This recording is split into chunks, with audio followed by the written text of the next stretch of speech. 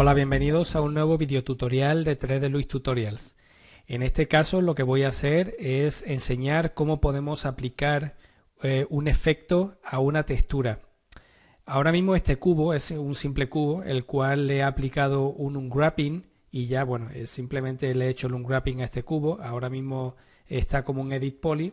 Aquí voy a enseñar la fotografía eh, bueno, este video tutorial no se trata precisamente de cómo hacer el unwrapping, simplemente de cómo podemos añadirle un efecto, que ahora lo verán, es bastante, eh, bastante resultón a la hora de, trabajar con, él para, bueno, para crear efectos en nuestras, en nuestras texturas.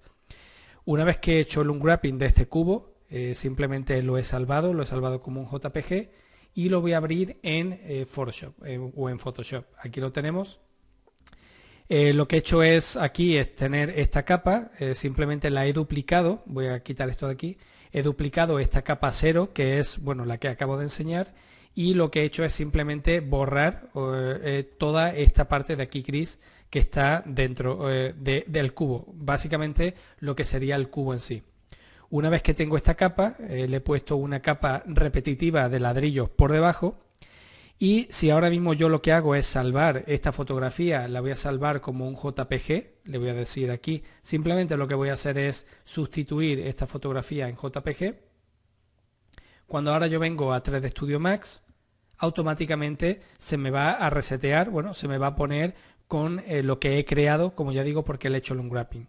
Bueno, de lo que va este tutorial es eh, cómo podemos añadirle ciertos efectos para darle un poquito más de de realismo o un poquito más de, eh, de calidad a nuestra textura. En este caso lo único que voy a hacer, voy a seleccionar de nuevo Photoshop, voy a abrir, voy a poner esto un poquito más grande.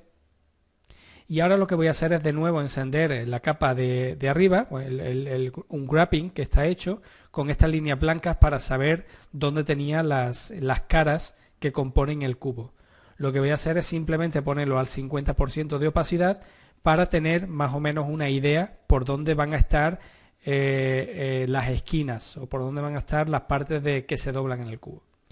Una vez que, eh, que voy a comenzar, en este caso con esta técnica, lo que voy a hacer es duplicar esta, simplemente la voy a duplicar, esta la voy a apagar, porque como voy a trabajar en esta capa, en caso de que algo esté mal, bueno, la puedo volver a borrar y volver a continuar o continuar con, con esta de aquí abajo vamos a seleccionar esta herramienta de aquí que se llama Burn Tool. Es una herramienta de quemado. Si yo simplemente le hago clic, bueno, le puedo hacer aquí un clic y eh, si lo dejo pulsado me va a salir estas tres herramientas.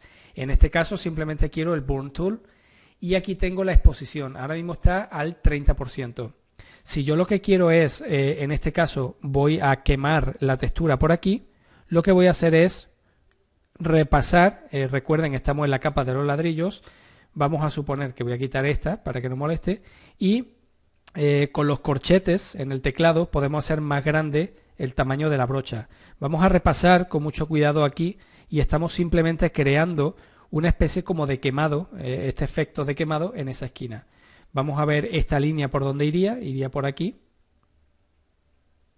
Así que pues simplemente vamos a hacer un poquito más chico la brocha y vamos a quemar esto de aquí.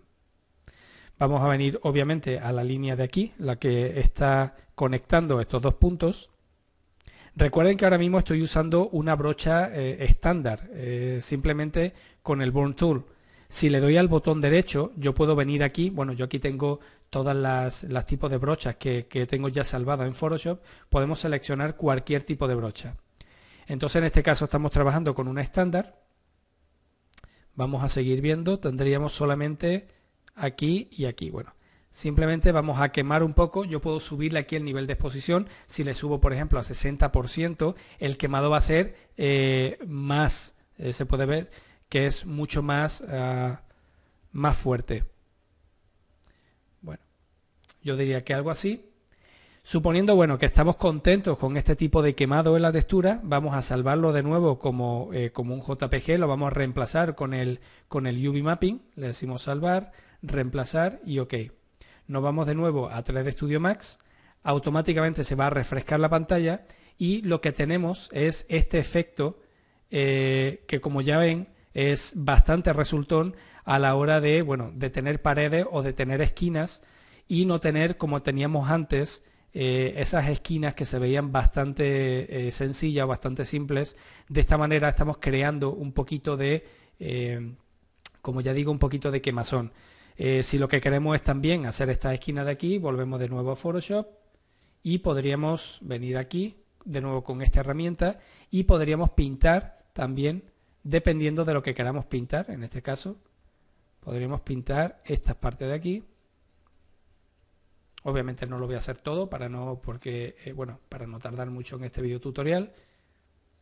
Y vamos a pintar esta parte de aquí también.